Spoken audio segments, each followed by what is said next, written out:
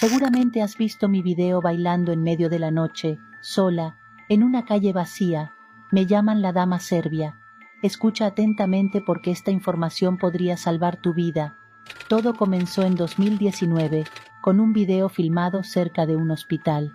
Unos estudiantes me vieron bailando en una calle solitaria, bajo la luz de los faros.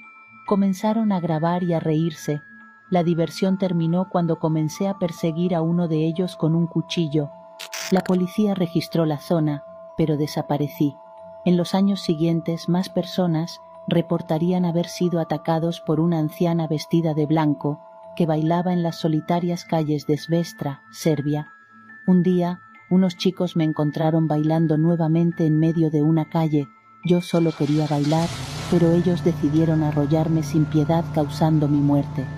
Ellos pensaron que ya no tendrían que preocuparse por mí, pero desde aquel accidente más personas me han visto y grabado alrededor del mundo.